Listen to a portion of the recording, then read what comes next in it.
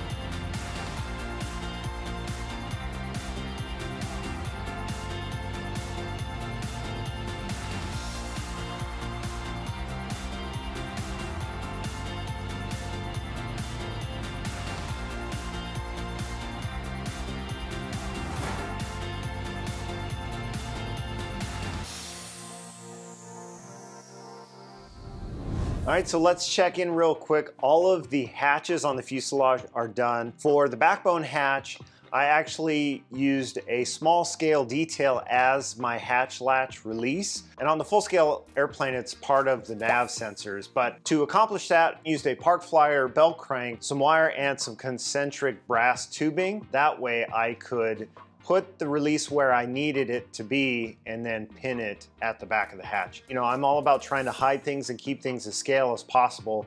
And so doing that, I was able to hide anything that, you know, otherwise wouldn't be scale on the backbone of the airplane. And so for the canopy hatch, I did something slightly different in that I had a standard hatch latch, then used concentric aluminum tubing to route the pin forward into the nose area from the main hatch. To get to it, I have to remove the backbone hatch and then that gives me access to the canopy hatch latch. And so otherwise, cutting out the windscreens, I used a razor saw there, but I wanted to mention to glue the canopy in, I used magnets to hold it all in place and used Formula 560 canopy glue to glue it. The nice thing with that glue is it, it's slow to cure, and so that gave me a lot of time to be able to clean up the canopy while it dried. Uh, and then the magnets just simply held it all in place. And so it worked out really fantastic. And now it's time to get on to the EDF installations. Four engines means, of course, four times the fun. And so yeah, let's get on to that. Speaking of electric ducted fans, this video is brought to you by Schubeler Technologies. As electric ducted fans go, these are the best of the best hands down. They are incredible quality, they are incredible performance. And so they offer sizes from 69 millimeter, which we're using here on the Hustler, all the way up to 129 millimeter EDFs for those monster projects. And for the case here, we are using four DS30 HDS 69 millimeter fans powered by six cells each. I have a link to their site down in the description. These are incredible fans and I can't thank them enough for their support on this project.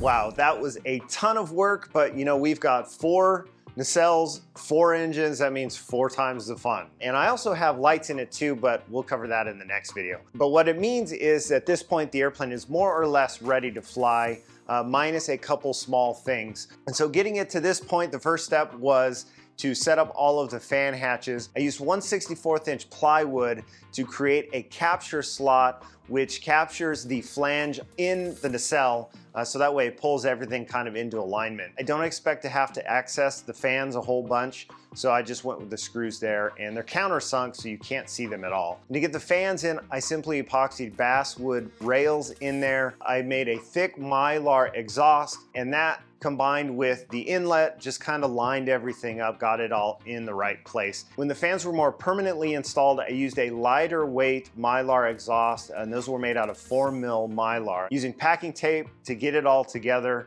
uh, and there's a cone program that I use to get the shape for it as well. Oh, and I have my 28 millimeter Inrunner mini burners in there, simulated afterburners. They look amazing. The airplane's not gonna do Mach 2 if it doesn't have afterburner after all. And so once I had it all in there, I used a product called icing, which is basically a lightweight Bondo material. I put it all around the hatches. And once the material started to harden, it got kind of rubbery. I used a razor blade to cut through the perimeter of the hatch and then sanded it all smooth. That created a very fine line for all of the hatches and they all look like panel lines. And so yeah, this is huge progress. Now it's time to check everything out. I haven't even had a chance to run the fans yet. So we're gonna take it out to the field, do some taxi testing, do some run-ups.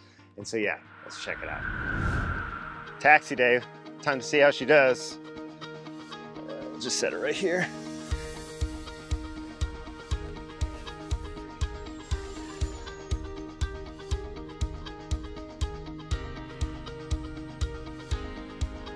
I got two 7000s and so the way they are running is the inboard nacelles or fans are, are running on one pack, the outboard fans are running on a second pack and uh, these just go in here kind of side by side.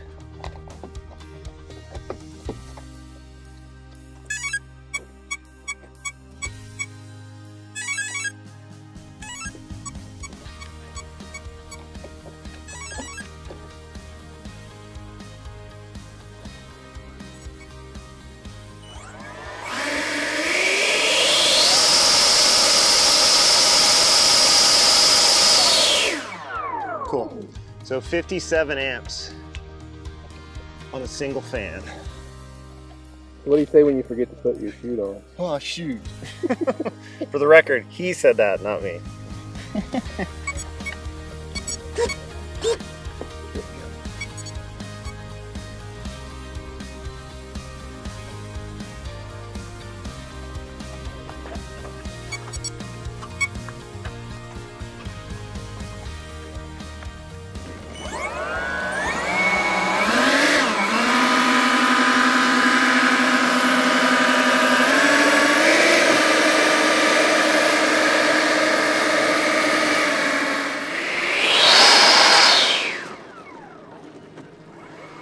acceleration.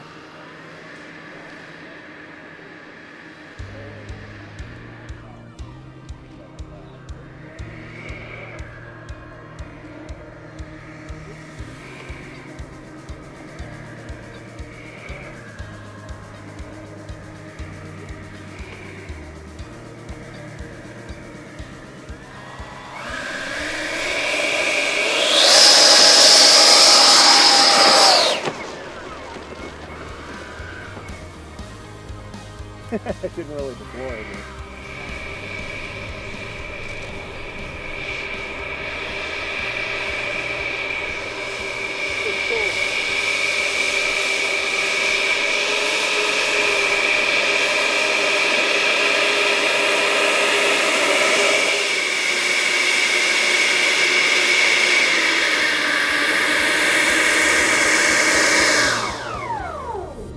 The airplane is more or less flyable now. She's taxiing under her own power. There's only just a few things left to do to get it truly flyable. But otherwise from here, we're actually going to paint the airframe. We're gonna paint it up in one of the prototype schemes.